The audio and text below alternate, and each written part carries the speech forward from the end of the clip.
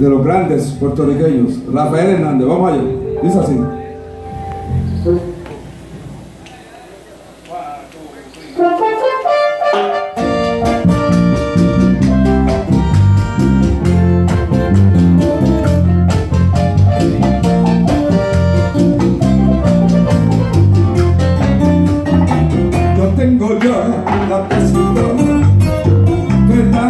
Sempre pronto